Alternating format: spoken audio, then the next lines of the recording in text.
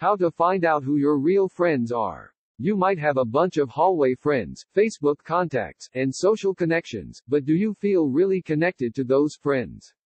How can you know for sure? If you want to learn how to put your friendships to the test and make better friends, read on. Testing your friendship. Ask a friend for help. If you need help, is your friend there for you? Or, does your friend make excuses, disappearing when it becomes convenient? Real friends will show up if you need a helping hand and will show up to celebrate with you afterward.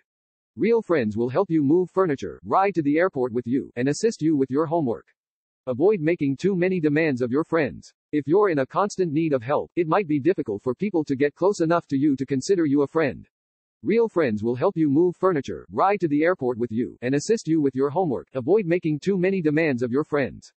If you're in a constant need of help, it might be difficult for people to get close enough to you to consider you a friend.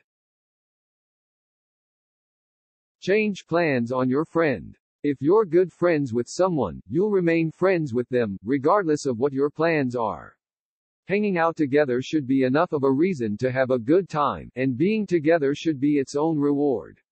How does your friend react if you decide to change plans? If you were planning on heading out for the night, see if your friend would rather stay home and watch a movie by theirself.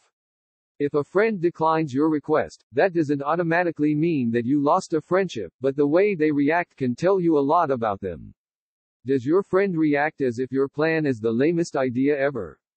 That's a bad sign. Does your friend legitimately want to go to a movie and be a homebody? That's different.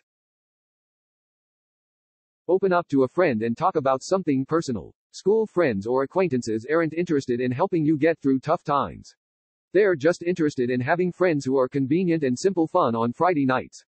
That's not to say that there's not a place for these kinds of friends, but if you're wondering who your true, good friends are, you need to open up and see how they react. Tell your friend how you're feeling about a date, or about a situation with your family that's stressing you out. Don't expect answers, but if you don't get a sympathetic ear, or if your friend seems annoyed, that's not a great sign.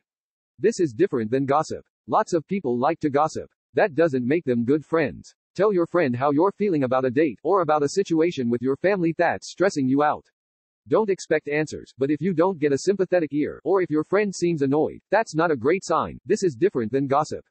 Lots of people like to gossip. That doesn't make them good friends. Invite your friend to hang out with your family. While it's possible to have good friends that don't necessarily mesh with your parents and your siblings, if your friend gets along well with your family, that's a good sign.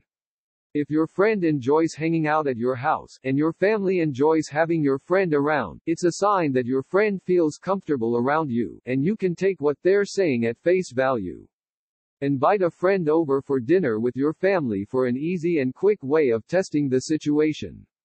Make sure to ask your parents first, to make sure it's okay. Watch for signs of using.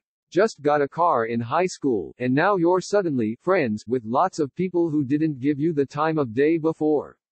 Often, people will act friendly when they want to get something from you. It's usually best to avoid these types of relationships. Users will flatter you and try to make you feel good with their attention, but won't ever be willing to hang out with you when the circumstances aren't right. If you've got a friend using you for your car, your Xbox, or your pool, ask them to hang out at another time, or say your car's in the shop. If they cancel, that's a bad sign. Watch for signs of jealousy. Sometimes, friendships can suffer from jealousy, especially if the two members are at different points currently. If you and your good friend both made the volleyball team, for example, but you made varsity and your friend didn't, your friendship can start to suffer. But good friends can learn to look past an initial jealousy and put the friendship at the front.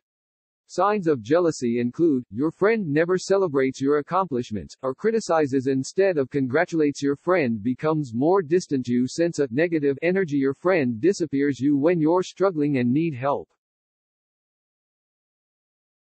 Watch for signs of two-facedness. Anyone who bad mouths you to other people isn't a friend. If you're getting mixed messages from someone, or if you're picking up that someone is talking about you differently to your face than to other people, that's not a friend. Talk to your other friends if you're curious how you're spoken about in private. Good friends will let you know the truth. If anyone bad mouths you to your face, that's obviously not a friend. Joking around with someone is one thing, but if somebody puts you down and doesn't recognize that it's hurting your feelings, that's not someone who has your friendship in mind.